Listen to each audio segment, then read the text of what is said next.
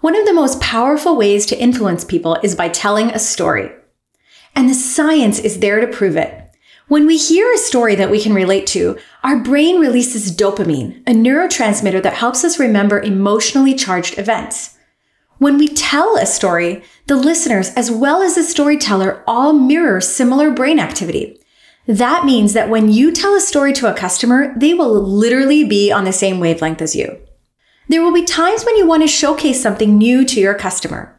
It could be trying out a new feature, optimizing their existing use, or even expanding to other products.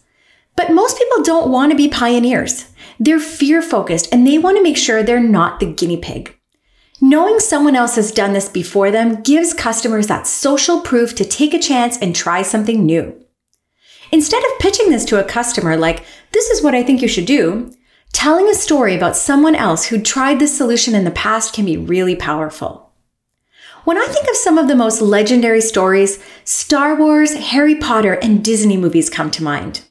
The secret sauce in all of these stories is the hero's journey story arc.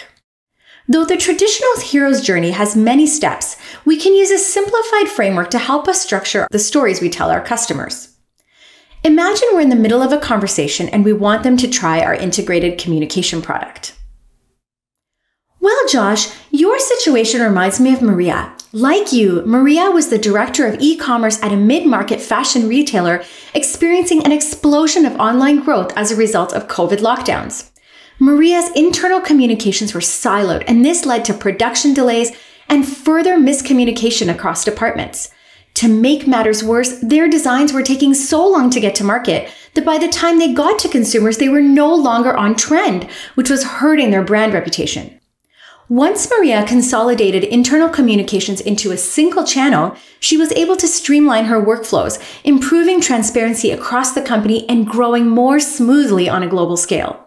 On top of this, the integrations Maria implemented helped her get her design approvals faster increasing her speed to market, which, as you know in the fashion industry, is everything.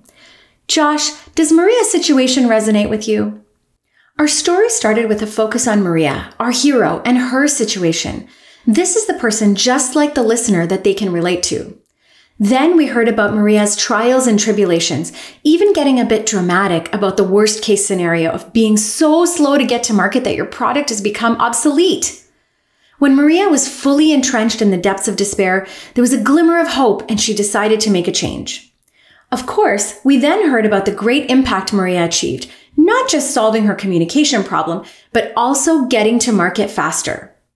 Now, this is really important. The listener should be able to connect the dots that the help that Maria got was from using my product. But as soon as I say the name of the product, the focus is taken away from our hero, Maria, and I sound like I'm pitching.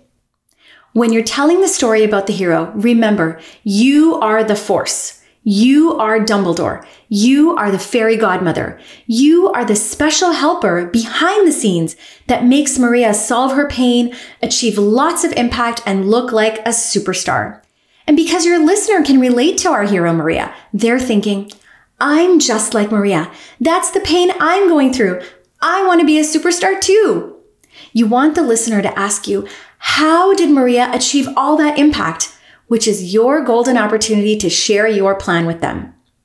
Remember, when you're telling a customer story, state the name of the hero and make it relatable to the hit listener. Talk about the hero's pain and don't be afraid to be dramatic. Keep the focus on the hero, not on your solution.